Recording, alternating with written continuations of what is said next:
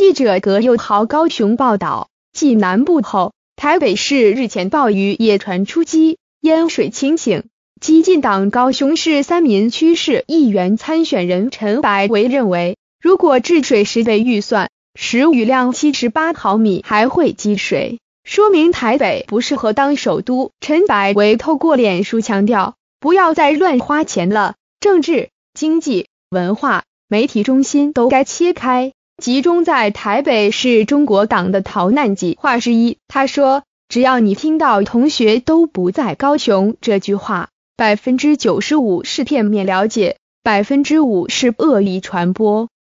将台湾的人才集中到台北剥削压榨，以喂养早期透过枪杆子跟笔杆子获得的资本，并训练服从中华民国体制的正经美军等群带，导致了今天这种南北重度差异。陈柏维指出，Rebuild Taiwan 从 Rebuild Taipei 开始，